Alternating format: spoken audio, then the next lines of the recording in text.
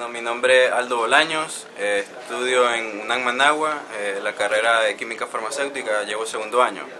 Y bueno, con respecto a la pregunta, eh, considero que es importante el diálogo en estos momentos de crisis, porque ah, de esta manera se va a llegar a, un, común acuerdo para que no sigan habiendo más, más por decir, afectando la economía del país con los, con los dichos tranques y y los diferentes modos de, de actuar de, la, de, la, de, los jóvenes que se dicen ser estudiantes, pero realmente considero que son delincuentes por, la, por sus actos. ¿Qué pensás de los obispos? Si son árbitros o son neutrales. ¿Cómo los has visto en este, en el primer y en el segundo momento del diálogo para eh, vos? Bueno, aún no, no veo alguna una forma concreta, pero a mi consideración por el momento los considero eh, neutrales. ¿A quiénes? A los obispos. ¿A quiénes vos ves que, que no son neutrales y otros, por ejemplo? Ah.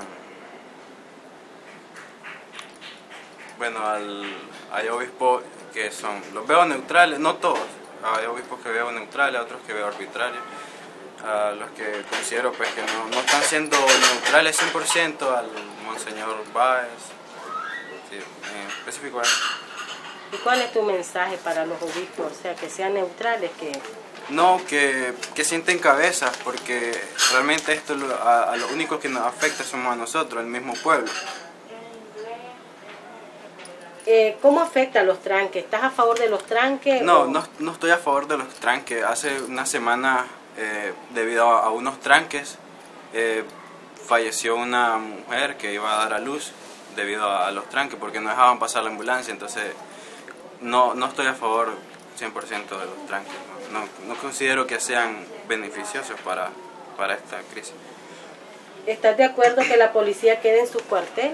No, no estoy de acuerdo. Eh, los, los estudiantes, o los dichos estudiantes, porque considero que no son todos estudiantes realmente por sus actos criminales realmente.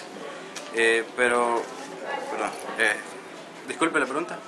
Si estás de acuerdo que los policías entren a los cuarteles. Bueno, eh, no estoy de acuerdo que entren a sus cuarteles porque el, el deber de la policía es poner orden en, en, las calles y pues eso es lo que debería estar haciendo la policía. Lo, la gente pide que guarden, se guarden en sus cuarteles, pero no considero eh, beneficio a eso de estar no sacando a la policía, debería más bien salir a, a poner orden en las calles.